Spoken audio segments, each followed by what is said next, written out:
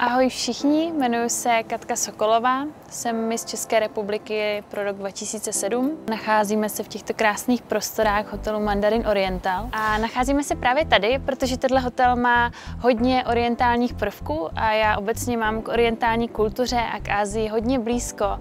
Co se týče mojich zkušeností s Orientem, tak jsem byla v Ázii hodněkrát. Byla jsem hodněkrát jak v Číně, tak v Tajsku. Už asi osmým rokem mě zastupuje agentura Elite Prague. Celý to vlastně začalo mojí účastí na Miss World v roce 2007. A byla to skvělá zkušenost. Většinu času jsme byli na ostrově Hainan eh, v Sani. Lidi byli opravdu moc milí, hrozně pokorný, příjemný.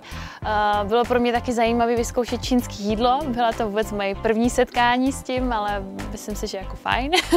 Co se týče Last Visa, eh, natáčení tohoto seriálu, tak eh, na to strašně ráda vzpomínám. Hrozně mě to bavilo, hrozně mě bavili ty lidi okolo toho. Když jsme točili v Čechách, tak vlastně vzhledem k tomu, že eh, čínský štáb byl v České republice v úplně jiné kultuře, jiným časovým pásmu, všechno pro ně bylo jiný, nový, tak často kolikrát hodně věcí měnili a to dost za pochodu, takže to pro mě bylo dost náročné se jako rychle na to adaptovat.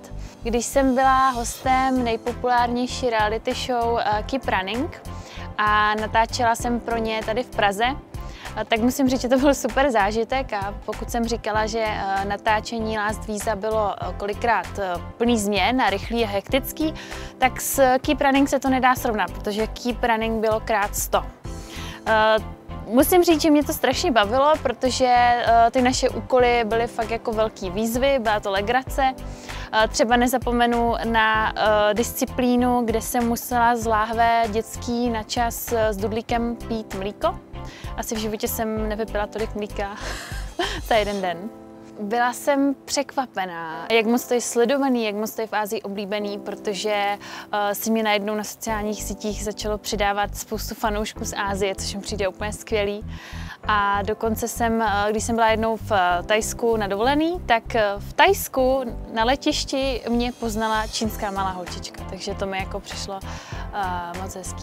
Já totiž mám k dětem hrozně blízko, mám je moc ráda. A i když sama ještě děti nemám, tak uh, mám k ním velmi blízko právě protože jsem před čtyřmi lety společně s mým tátou založila nadační fond Outtalk, který se zaměřuje na podporu rodin pečujících o autisty. A tento fond jsme založili na základě rodinné zkušenosti, protože můj bráška trpí těžkou formou autismu. A musím říct, že i díky tomu, že jsem se stala tak trochu jako známou v Číně, tak uh, mám šanci oslovovat i azijské partnery, což mi přijde úplně skvělý. Kromě Autolku jsem se ještě stala ambasadorkou uh, Boucheron šperků pro Českou republiku, takže uh, tam také pracuju, moc mě to baví, je to práce s krásnými šperky. Co se týče Číny jako takové, tak určitě bych se tam moc ráda zase podívala. A moc se těším na nějakou další příležitost, kdy zase bude možnost natočit nějaký třeba krásný seriál.